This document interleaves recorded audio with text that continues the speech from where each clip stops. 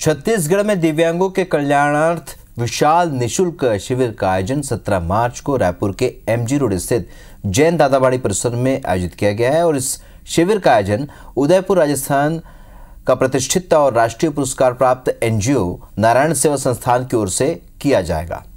संस्थान के ट्रस्टी और निदेशक देवेंद्र चौबीसा ने बताया कि ऐसे लोग जिन्होंने किसी हादसे में या अन्य बीमारी के चलते अपना हाथ पैर गवा देने से वो अंगविहीन हो चुके हैं। उन्हें दिव्यांगता की दुख भरी ज़िंदगी से निकालने के लिए संस्थान निस्वार्थ भाव से प्रतिबद्ध है।